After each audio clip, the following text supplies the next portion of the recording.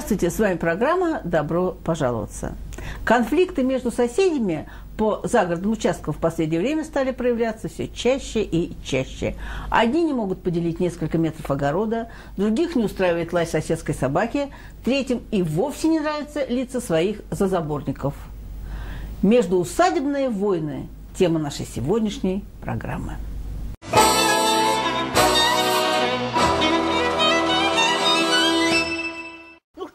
Зачем ты говоришь Подожди, неправду? Подожди, слушай.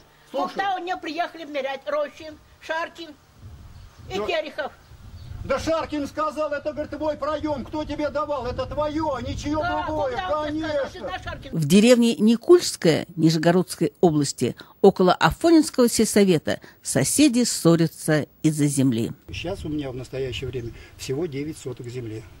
9 соток земли. Так как у меня 5 соток земли у меня забрала вот эта вот соседка, которая на это не имела никакого права. У нее нет ни документов, ничего. Я говорю, «Э, дайте мне этот самый документ, покажите, кто вам дал эту землю. Если вы дали за ваши успехи, там, пожалуйста, я извинюсь перед вами, и вопрос я больше никогда не буду поднимать. Что меня фотографирует? Александр, а это правда, что вы вот у этого дома отняли 5 соток земли? Ни у кого я не отнимала, мне дал совхоз. Все. В 1993 году Вячеславу Ивановичу Суровцеву в связи с покупкой дома было выдано свидетельство, где черным по белому было записано «Площадь участка 1149,6 квадратных метров, то есть 13 соток». Этому дому принадлежало 13 соток земли. Я стал платить за 13 соток то, что принадлежит этому дому. И вдруг сюрприз. Соседка отбирает почти 4 сотки в свою пользу. Дело может быть не в сотках, но за державу обидно. Неправильно ты поступила. Забрала 5 соток земли моей. На каком основании? На каком основании? Я обращался, обращался в сельскую администрацию, я прихожу к ним и говорю, покажите мне, пожалуйста, документы, кто дал ей эту землю. Они мне в ответ говорят, у нее все правильно, а документы мне никто не может показать. Администрация Афонинского сельсовета на стороне соседки. Суровцев грешит на круговую поруку, показывает на другого соседа. Ей помог вот тот сосед, который как бы ее дальний родственник, он бывший здесь депутат, и он ей сказал, пока, значит, стариков нет, значит, занимай эту землю и это самое. Они межу нарушили, они сломали это, межу они вообще, это самое, в общем, межи нет. Как мирно проводить межевание? Как доказать право на свою землю? Как правильно заявить свои требования в суде? Смотрите внимательно. То, что случилось, может случиться с каждым.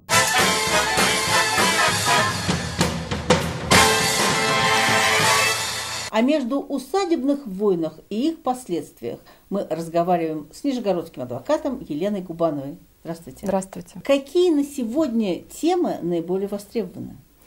Ну, наиболее частые споры, которые встречаются сегодня, это споры о границах земельных участков, о так называемых наложениях земельных участков, об исправлении кадастровой ошибки. Почему возникают э, наложения э, земельных участков? Откуда это? Ну, это в основном связано с тем, что очень многие наши граждане получали землю еще при советской власти. А в то время не было принято закон о государственной регистрации недвижимого имущества и сделок с ним. И, соответственно, не проводилось межевание земельных участков как таковое. То есть границы земельных участков не устанавливались. Они устанавливались вручную, то есть э, представитель администрации местной рулеткой измерял землю, Колышки вбивали? Колышки да? вбивали, Мгм. совершенно верно. Забор ставили, таким образом определяли границы своих участков. Теперь А, свидетельство выдавалось сельской администрацией. Теперь закон требует для того, чтобы встать на кадастровый учет, для того, чтобы получить кадастровый паспорт, нужно обязательно провести межевание земельного участка. мы должны э, куда заявить и кого обвинить в этой ошибке? Ну, для начала я хочу вот что заметить, что когда проводится межевание, э, обязательно подписывается соседом, соседним, э, э, собственником соседнего участка, а так называемый акт согласования границ. То есть он должен выразить свое отношение к, к тому, что у его соседа вот в этих границах находится участок вот такой площадью. Если споров нет, если сосед согласен и подписывает этот акт, то, соответственно, тот, кто проводит межевание, он может идти в кадастровую палату и затем регистрировать право собственности на свой земельный участок. Если возникает спор, то для начала тот, значит, собственник, который обнаружил, что на его участок произведено наложение, ну, то есть, например, часть его участка по документам принадлежит, оказывается, соседу, который, например, раньше, чем он провел это межевание. А, следует э, ему с заявлением обратиться в соответствующем земельную кадастровую палату. Земельная кадастровая палата проводит проверку, собирает комиссию и выносит решение, например, об исправлении кадастровой ошибки. За кадастровую ошибку кто несет ответственность? С кого спрашивать? Ты допустил кадастровую ошибку? Плати мне деньги. Ну, вот что касается материальной ответственности, здесь как раз э, это сделать практически невозможно, потому что, э, собственно говоря, не межевая организация не виновата в этом, потому что они пришли и замерили по месту участок, тот в тех границах, где показал собственник. И не их вина, что это наложение произошло. Оно могло произойти из-за того, что землей долго пользовались, и, соответственно, эти границы, установленные в виде колышков или заборов, они просто сместились. Кадастровая, э, земельная кадастровая палата тоже ее сложно обвинять, так как она э, ориентируется на те сведения, которые межевая организация представляет. Э, можно, конечно, найти виновных, если явно видно, что участок принадлежит другому лицу. Суровцев землю перемерял, все точно, все сходится, и документы в наличии. К нам никто не приходил, не измерял нашу площадь, вот эту вот. А вот когда я нанял регион 52, они мне намерили 9 соток всего. А якобы тот из администрации, сельской администрации приходится, он якобы намерил мне 10,6. Понимаете, почти 11 есть? Есть, есть. У меня это документы все есть, они у меня все в наличии. Вот. А у соседки нет документов. И без документов, без доказательств такой успех. Этот дом, и там числится с того дня 13 соток земли числится, есть документы полностью. А твоих документов кто тебе дал? Нету документов ну, вообще. У меня никогда ничего нет, только у тебя все есть. Так это официальные документы есть. Официальные документы есть, а у тебя ничего нет. Я же на суде спрашивал, покажи мне документы. Ты говоришь, они у меня дома. А почему нет, они у тебя почему дома? Почему у тебя вот эти документы сейчас свидетельствуют право собственности на землю по завещанию? Но у тебя? У тебя. Верни его мне, верни. Так я верну, я верну, я покажу вот сейчас им все документы и верну, я не волнуйся, вот мне это... оно не нужно. А зачем ты его в суд приносил? Тебе кто его дал? Какой свидетель? Какое? Как, Мое? Не твое, но мое. Свидетельство справа собственного по завещанию. По завещанию. Так я тебе не волнуюсь, я тебе эти документы отдам. А документы у вас есть? Есть. А покажете нам? Вот. Вам документы нужны? Ну, да, показать нам, потому вот. что на телевидении нам нужно показать документы. Ага. Сейчас вам как... Покажете, да? Покажу. Ага. Только из моей руки, я не вам дам. Хорошо. Нет. Ну зачем его снимать-то? Для кого? Мы государственный телевидение скандал не заводи. А я и не завожу. Я хочу чистой правды от тебя получить. Покажи мне на газ документ, который тебе давали на миллиметровке. Там у тебя четко сказано, сколько у тебя. У тебя всего 6 соток земли. У меня? А кто тебе сказал? А кто? Да я сейчас тебе подниму все документы, покажу из, из архива. У тебя всего 6 соток земли было на 85 год. На 85-й год я был Это всего 6 соток земли. Год. А какая разница? А, 87... а ты приехал когда? А в 87 а году я дом купил. Дом 87 Да, в 87 А мне ее и дали как раз вот. Никто тебе не давал, нигде Кто ты врешь? Ну что ты врешь? Зачем ты говоришь Подожди, неправду? Подожди, Суровцев ищет документы соседки на землю, идет в администрацию. В администрации много не разговаривают. И не только с Суровцевым, но и с нами тоже. Алло? А, Ольга Павловна, добрый день. Добрый. Нижегородское телевидение. А, Будьте добры, разъясните, пожалуйста, нам ситуацию, связанную с земельным участком Суровцева Вячеслава Ивановича в деревне Никульская. Невозможно правильно установить, да. И еще неизвестно, кто прав, кто виноват. Потому что он как бы говорит э, за доказательство того, что эта земля принадлежит ему, именно эта граница. Он ссылается на какие-то старые там землеустроители, что вот намеряли. Ведь это как бы не докажешь сейчас.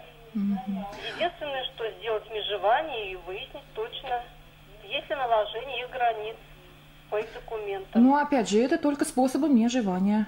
Да, это только по межеванию. Так он никак не определит этого. Угу. Ольга Павловна, а почему Суровцев считает, что Афонинская администра... сельская администрация землю выдала Сизовой незаконно?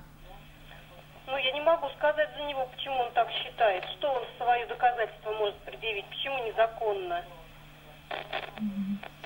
И последний вопрос. Почему Афонинская сельская администрация, государственное учреждение, не желает встречаться с нами, с государственной Нижегород... Нижегородской областной телерадиокомпанией? Ну, почему не желает? Пожалуйста, я, я говорю, что я комментарий дам. Единственное, что Я не хочу, чтобы меня показывали по телевизору. Это мое право. Спасибо, до свидания. Пожалуйста, всего доброго. Суд, однако, поддержал требования соседки. Суровцев недоумевает, и решение суда готов оспорить, и уже оспаривает. И тут важно понять механизм принятия решений суда. Как мирно проводить межевание? Как доказать право на свою землю? Как правильно заявить свои требования в суде? Смотрите внимательно. То, что случилось, может случиться с каждым.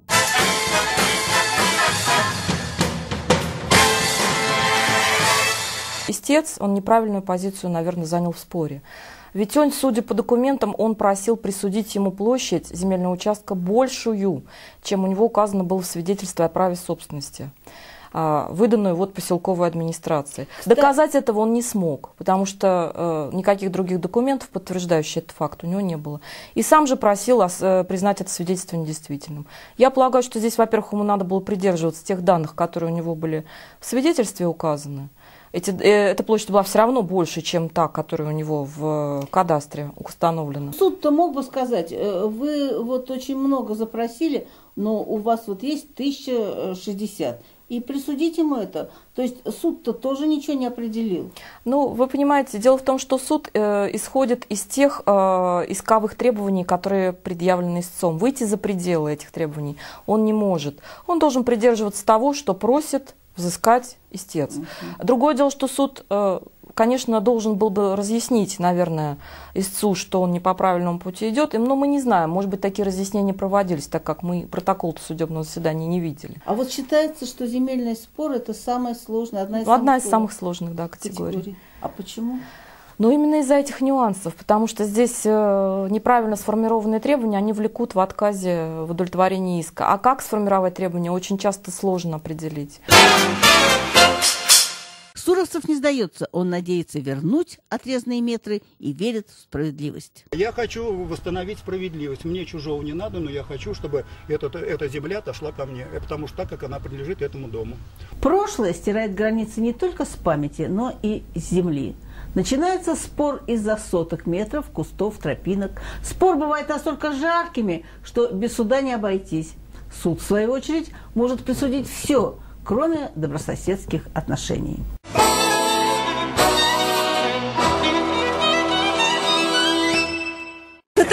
Не трогай! Да ты не... А это мой забор, я за него деньги платила, довольная? Вас, ты чего улыбаешься? А ты издеваешься над человеком и довольная, а да? Ты почему стоит? себя так ведешь? А зачем он стоит на моем участке? Ты докажи, что это твой. А что доказывать-то? У меня еще документы, у меня сейчас обмеры будут. Ты, вот когда будут, вот а когда обмеры будут, вот тогда пусть она исполнит. Вот тогда переставляйте свои столбы. Вот тогда переставляйте Ты сейчас башки, блядь, вышибут. Пошла Так, снимай, снимай, снимай, смотри. Ты посмотри. Значит так, вот когда будут все обмеры, тогда будут переставляться столбы. А сейчас будьте добры, нас, мой участок освободить от своих столбов. Я у вас их не отнимаю. За свои деньги купили. Пошла ты вот, кто такая? возьмите ваши столбы. Я хозяйка этого участка. Да. У Барановой соседка отрезала кусок земли. Обидно и непонятно. А когда непонятно, еще более обидно. В 68 году я училась в пятом классе. Вот мама получили, мама с, ну, с отчимом мы жили, э, значит, резали землю, и им отрезали вот кусочек, э, значит, кусочек земли. Э, ну, дали и все хорошо вот с этими соседями, а уже все нормально было, этих еще не было. Вот. А вот эти соседи, они уже нарезали, им нарезали землю уже намного позже. Вот. И где-то как бы вот эта история, о которой я хотела бы поведать, она, в принципе, началась э, с 2001 года, когда вот здесь уже дети стали хозяевами, э, здесь э, дети и родители, уже и внуки стали хозяевами. Вот и отсюда как бы началась вот вся эта история. А в чем причина? Почему не можете участок свой приватизировать? Так, я не, не хочу с вами разговаривать. Обратитесь, пожалуйста, в суд, вам там все расскажут. Как цивилизованные люди, соседи стали решать дело в суде. Соседка Глебова подала на Баранову иск в суд и проиграла дело. Как мирно проводить межевание? Как доказать право на свою землю? Как правильно заявить свои требования в суде? Смотрите внимательно. То, что случилось, может случиться с каждым.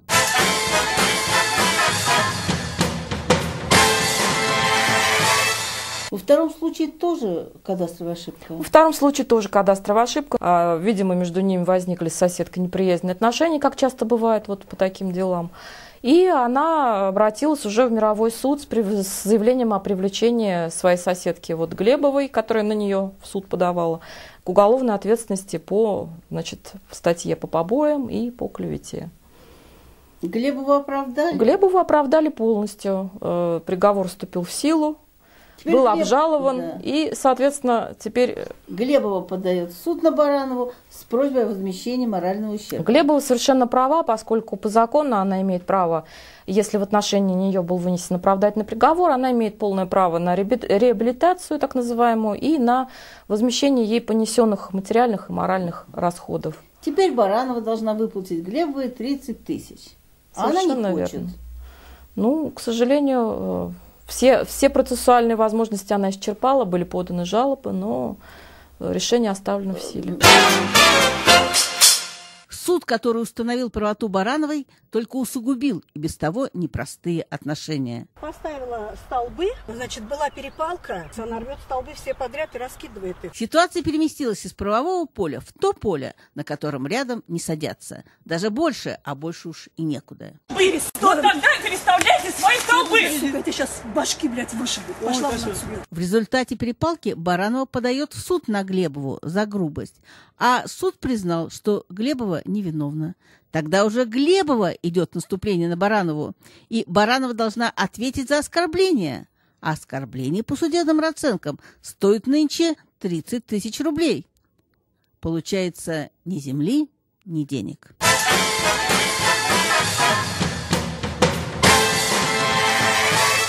Ну, если они не договорятся, если все-таки у них разум не, преобладает над их эмоциями, которые, наверное, у них не самые приятные сейчас по отношению друг к другу, я подозреваю, а, то, наверное, другого выхода нет. Они должны будут разъехаться, так как существовать они в состоянии вечной войны, наверное, не смогут.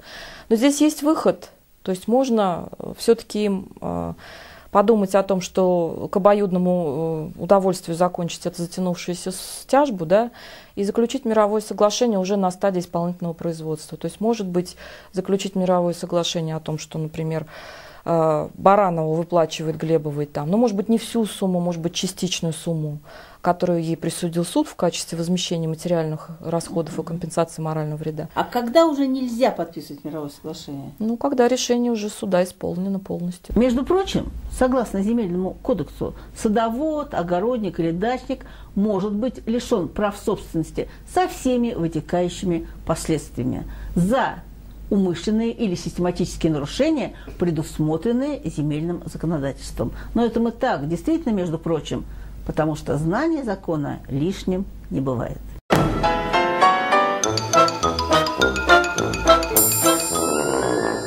В Одессе сенсационное ДТП. Блондинка на джипе сбила лошадь.